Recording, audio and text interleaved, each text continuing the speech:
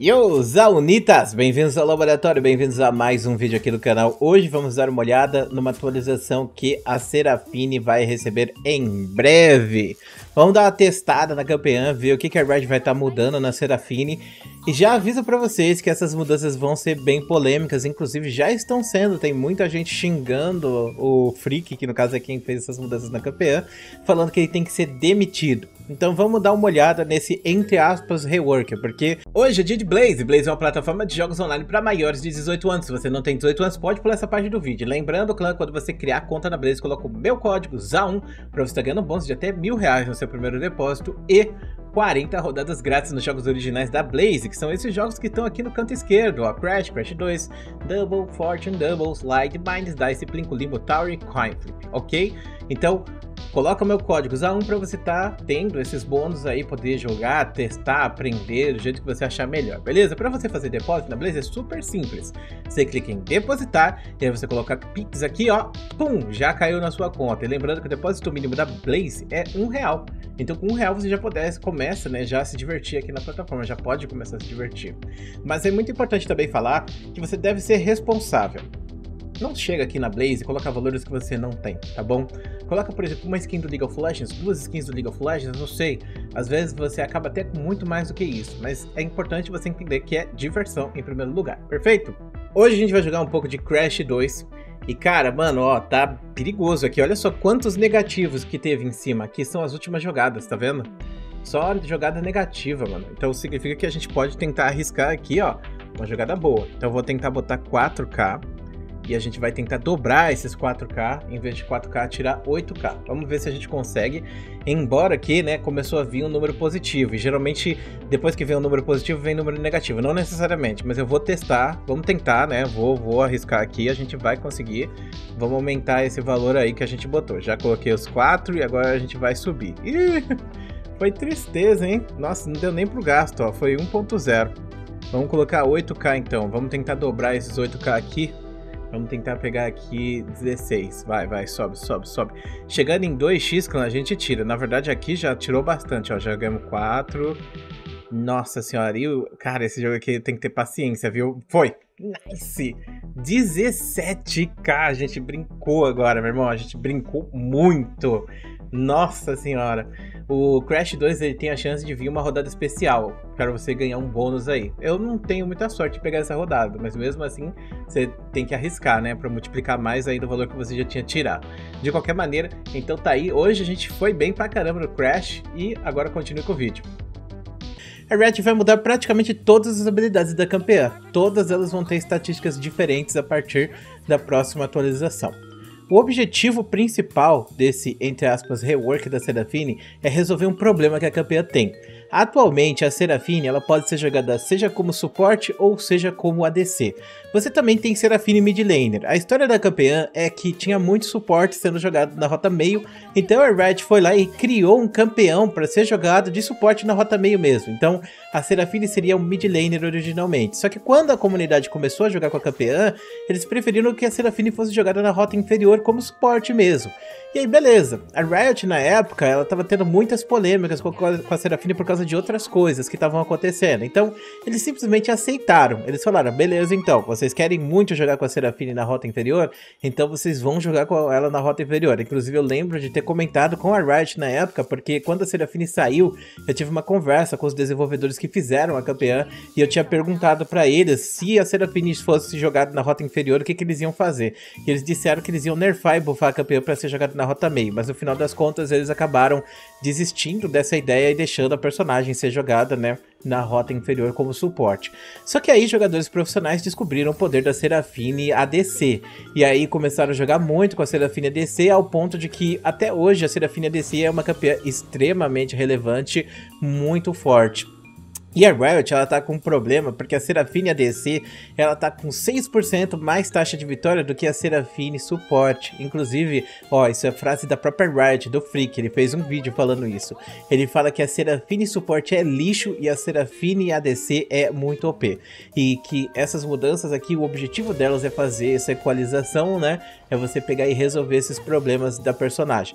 Tem muita gente falando, ah, mas aí eles vão tirar ela definitivamente da rota meio, né, Dark? O objetivo deles é esse. Na verdade, já faz muito tempo, já faz muito tempo que a Riot, ela quer que a Serafine seja jogada só na rota inferior e todas as mudanças que a personagem tem recebido é para ela ser jogada só na rota inferior. Então, ah, não é agora que eles vão estar tá fazendo essa atualização para tirar ela da rota meio, eles já estão fazendo isso há algum tempo. Essa atualização, o foco dela é fazer uma equalização, então fazer com que a Serafine ADC tenha uma taxa de vitória inferior e a Serafine AP tenha uma taxa de vitória, aliás, Serafine Suporte, né, tenha uma taxa de vitória um pouco maior. Então, diminuiu o ADC, subiu o suporte, perfeito?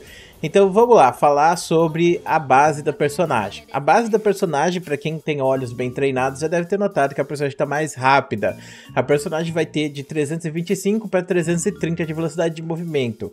325 é uma das menores velocidades de movimento do League of Legends. Inclusive, volte e meia eu tô aqui fazendo vídeo comentando com vocês, né? Falando, olha só, o personagem vai ficar um dos mais rápidos do LoL agora. Pois no caso da Serafine é o contrário, ela era uma das mais lentas do LoL, agora ela vai ter uma velocidade velocidade média para atirador. Por que, que isso é importante? Porque agora ela vai poder pokear com mais tranquilidade, e isso é uma coisa importante para quem joga de suporte. Então essa estatística que eles mudaram eu acho que foi bem interessante. O dano físico da campeã vai estar tá sendo reduzido, o dano físico no nível inicial. Aqui a gente está no nível 4, eu vou resetar a partida para você ver.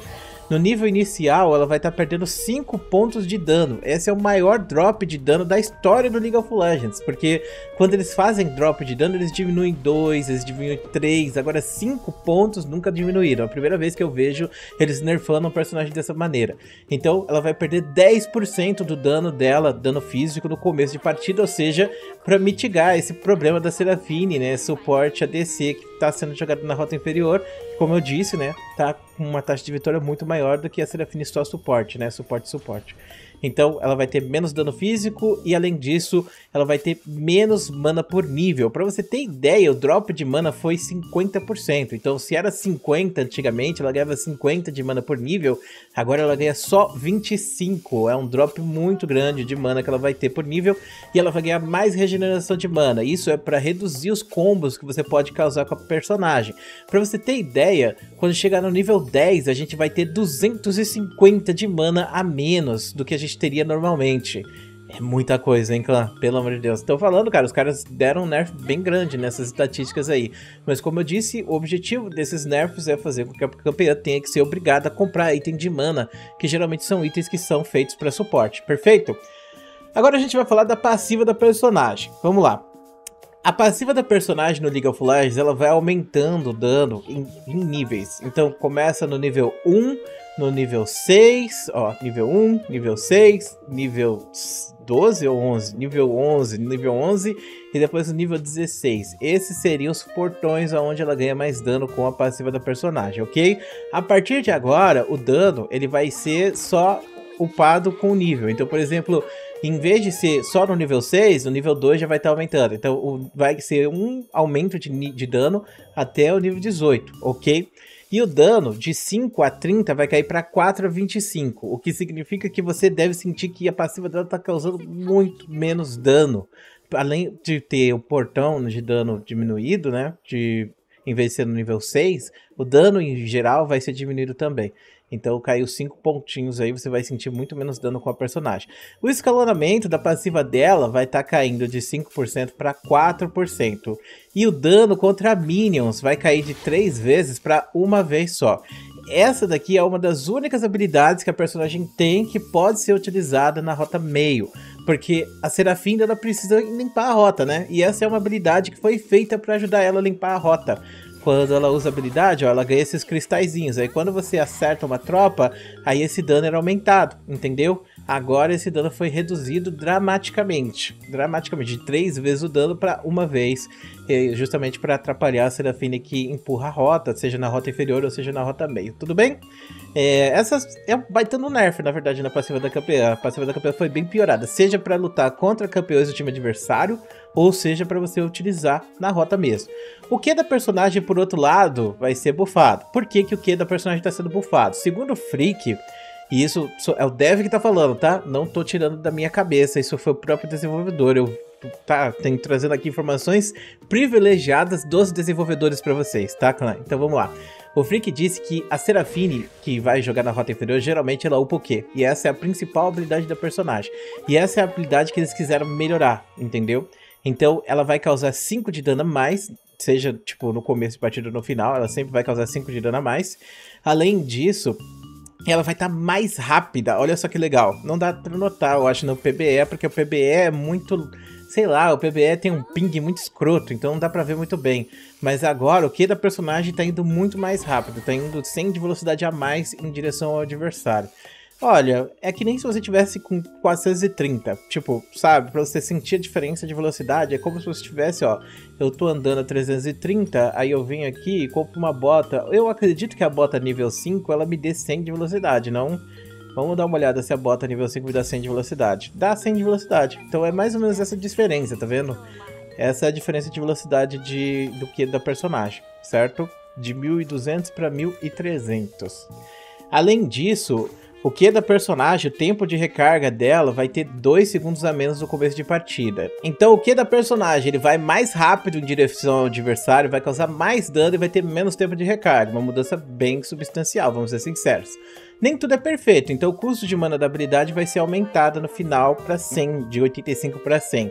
Não deve ser uma diferença que você deve anotar tanto, no começo de partida menos ainda, né? Então é uma mudança focada no começo. Uma coisa importante também para falar para vocês sobre a mudança que aconteceu nessa habilidade é que o multiplicador de dano baseado na vida perdida, que é 1.5 vezes né, o dano, vai para 1.6. Então vai aumentar um pouquinho o dano por vida perdida que o adversário toma, beleza? Agora a gente vai falar sobre o W da campeã, que segundo o Freak, essa habilidade está sendo mudada basicamente para fazer com que a Serafine consiga tancar o machado do Draven. Então, pensa no Draven na rota inferior. Quando a Serafine apertar o W, ela vai ter aqui um escudo que vai bloquear o dano do Draven inteiro, basicamente. É uma mudança interessante, né? Então ela vai ganhar mais escudo no W dela, o escalonamento de velocidade vai estar tá caindo de 4 para 2%. É um nerf bem grande, né? Porque você ganha velocidade de movimento quando você usa essa habilidade. Vamos ver quanto que eu ganho aqui quando eu uso ela agora. Vamos ver. 390 não vai ser uma diferença tão grande, eu acho, no final das contas. Mas mesmo assim, algumas pessoas devem notar que caiu pela metade. Lembrando, né, que isso aqui é para personagem que vai fazer full AP na Serafine. E eles não querem mais isso, eles querem que você faça itens de suporte, que vão te dar ajuda para ajudar sua equipe, beleza? O tempo de recarga da habilidade caiu de 28 segundos no nível inicial para 22, tipo uma mudança bem grande, para ser bem sincero. E o custo de mana foi menos 10 em todos os níveis. Então esse é o, a mudança do W da campeã. E lembrando, o objetivo né, é dar mais escudo para a campeã, dar mais utilidade para ela, fazer com que ela consiga bloquear um machado do Draven. O E da personagem, o dano dela vai cair de 60 a 200 para 70 a 190. Então caiu 10 e o escalonamento foi aumentado de 35 para 50%. Uma mudança que aumentou um pouco o escalonamento para você causar mais dano ao longo da partida, mas menos dano base. A duração do CC. Aí agora é a hora que vocês vão reclamar bastante, hein? Essa habilidade, quando ela tá com a passiva da Serafine, você joga e você deixa o adversário enraizado por um tempo, certo? Esse enraizamento que você causa no adversário, ele vai estar tá caindo de 1,25 fixo para 1.1 até 1.5. Então, você vai ter menos enraizamento no começo de partida. E isso é uma coisa que importa muito. Por quê? Porque, como o Freak disse, as pessoas elas upam o Q da personagem como habilidade principal. Então, você só vai conseguir ganhar esse buff do E dela para enraizar por mais tempo quando você tiver upando a habilidade lá no final. Então, a menos que você comece a upar essa habilidade, você não vai estar tá vendo esse, essa melhoria. Isso é uma melhoria que vai ser focada lá pro final de partida. Uma mudança também que a Riot vai estar tá fazendo aqui é o dano contra tropas, que vai estar tá sendo reduzido. Então, é, como eu disse, né? A personagem ela empurra muito a rota com o Q, com a passiva e com o E. Então eles estão nerfando isso de certa forma. Então, o E da personagem agora, ele vai causar só 0,7% de dano. Então, se eu causo 100 de dano com meu E, então agora eu vou causar só 70 de dano contra tropas, uma redução bem grande. O tempo de recarga, ele foi modificado, aumentou 1 segundo no começo de partida e diminuiu 1 segundo no final. O custo, por outro lado, ficou fixo em 60 de mana, ele não escala mais com o nível, tá? E o Ultimate da campeão, o escalonamento, vai estar tá caindo de 60% para 40%. E o tempo de recarga está sendo reduzido em 10 a 20 segundos nos níveis finais. Então, por exemplo, o nível inicial, nível 6, continua sendo a mesma coisa. Aí depois no nível 11, aí vai estar tá 10 a menos. E depois no nível 14 ou 16, eu não lembro quando você pega o segundo, acho que é 16. Você vai estar tá com 20 segundos a menos de tempo de recarga no Ultimate da Serafine. Então, as mudanças são bem interessantes. Eu achei que eles foram bem conservadores, vamos ser sinceros com essas mudanças assim. A mais legal, na minha opinião, é o E, porque abre espaço para você fazer um build que envolva upar o E primeiro, mas aí você vai perder muito do seu poder de empurrão de rota, porque você vai causar menos dano, né? Então, esse dano de 0.7 vai fazer a diferença, para você ganhar um pouquinho a mais de tempo de enraizar no adversário, né? Mas enfim, pelo menos o que da personagem, né, foi melhorado no geral. Então, para quem faz suporte ou quem faz ADC, vai estar tá com um Q melhor, mas o ADC especificamente vai estar tá perdendo nas outras habilidades, enquanto o suporte vai estar tá ganhando um pouco. E vamos ver se essas mudanças vão resolver esse problema de taxa de vitória que a Serafine está tendo, né? Aonde a taxa de vitória da campeã está tão incongruente, aonde está tendo 6% de taxa de vitória diferente entre a Serafine ADC para a Serafine Suporte. Lembrando, clã, essas mudanças são obviamente para diminuir o poder de empurrão de roda, rota principalmente para a campeã, e isso envolve rota meio, mas o foco principal da Riot não é a rota meio dessa vez. O foco principal da Riot é fazer mudanças na Serafine ADC. E aí, o que, que você achou da nova Serafine? Você gostou dela? Não gostou? Escreva aqui nos comentários, me dê sua opinião. Muito obrigado por assistir esse vídeo até aqui, um grande beijo, um grande abraço, a gente vê depois.